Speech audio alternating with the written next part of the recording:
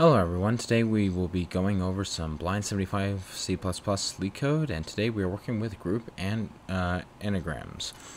Given an array of strings strs, group the anagrams together. You can return the answer in any order. Now, before we uh, head down to be able to break up the question, we need to ask ourselves four questions.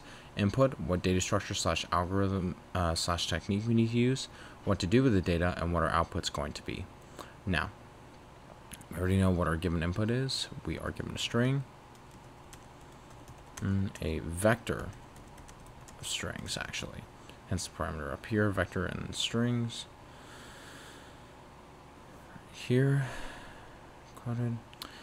And to note, an anagram is a word or phrase formed by rearrange the letters of a different word or phrase, typically using all the original uh, letters exactly once, like eat, tea, tan, ate, nat, bat.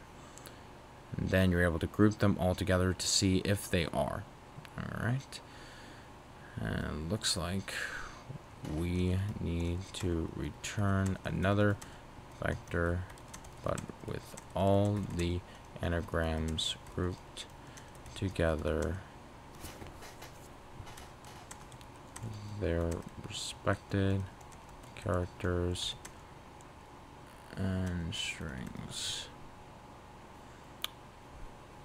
And uh, the algorithm technique that we're going to be using, and we're just going to be using this type of um, structure. And it's going to be called, a we'll be using a hash map, like we have for strings before, in terms of keeping track of frequencies at the same time uh, for valid anagram 2. Alright, and with our following hash map, what we will be doing is uh, grouping the anagrams together. And what we will do with the following data is we will iterate through each string in strs, sort it, and then add it to the corresponding group in the hash map. And so what we will be doing for our following steps right here is one, we need to initialize a hash map to store the groups of anagrams. Where uh, our um, parameters are going to be string and then vector of string. Then we will scan through the array and then we will loop through, we will sort the string from beginning to end add the sorted string to the corresponding group in the hash map.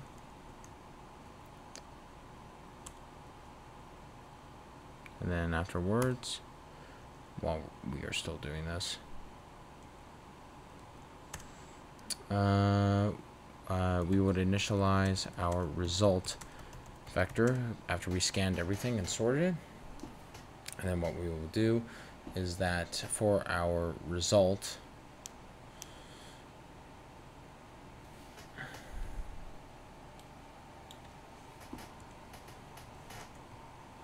we'll iterate through the values in our hash map and add them to the resulting uh, vector result vector finally output our result vector. So technically five steps with what we have, and we're going to break this down over what we need. So to break it down, step one, initialize our hash map, where it should be an unordered map, which is widely used in C++ for these type of problems. We have, we will have string, and then a vector uh, string. I'm going to call this thing groups. Then we're going to loop through the array, or array of strings, to make it correct. String and, for string and str, strs, since str is going to represent one of the strings for the whole array, this is like a for each loop, except we're dealing with strings, and what we're going to be doing is sorting it all.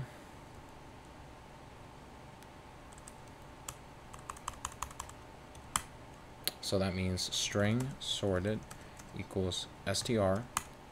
And then we will sort our entire string from beginning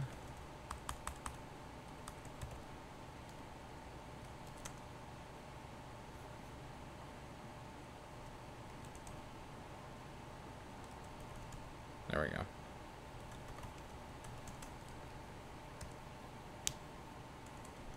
Then add the sorted uh, string.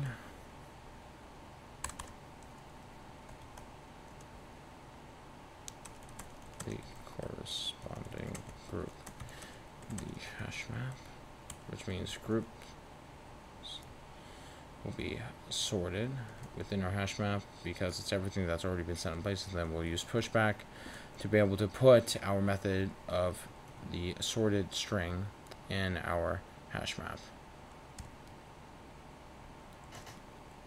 I'm going to initialize the result vector.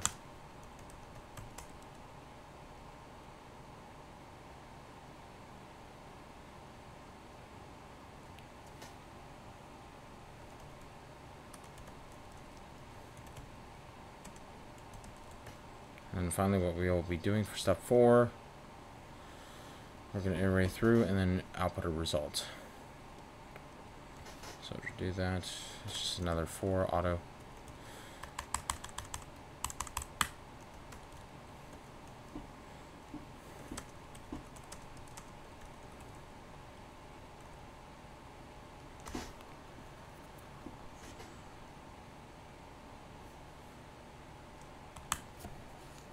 Group in groups.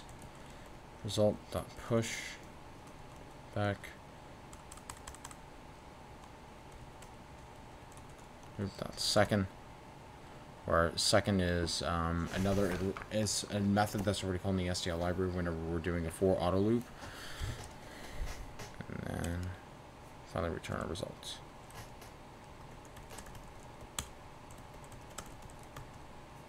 So there we go. Five different steps already set in place. Let's make sure everything's already lined up. It passes all the test cases. If not then we have an error that we need to fix. Push back not bash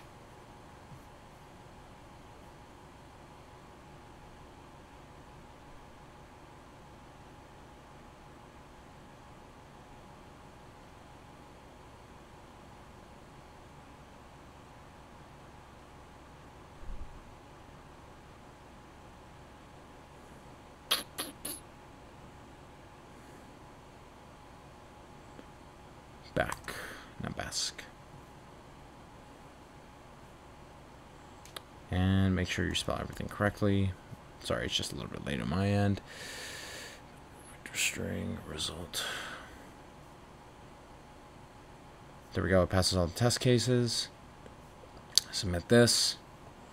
All right, and our solution works. Let me just clean this up for you folks.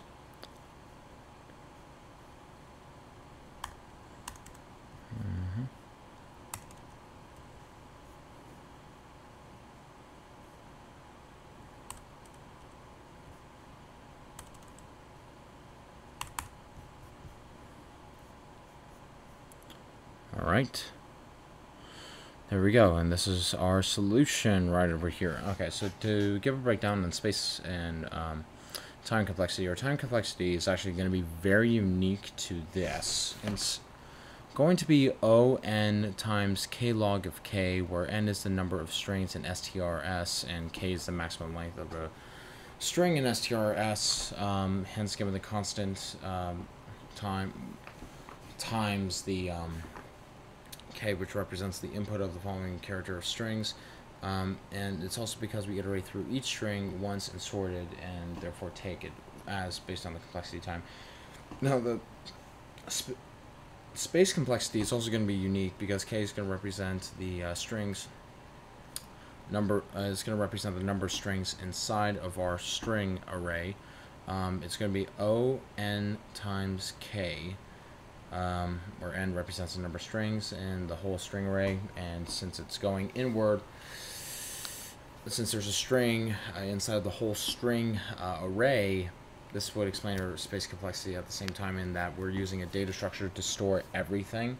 And so, relative to the size of the data structure of our hash map, uh, we will be corresponding and storing other uh, strings as well inside of our hash map. So yeah, this was group anagrams. Thank you again for taking time to watch this. If you found this helpful, feel free to uh, like and uh, like and subscribe.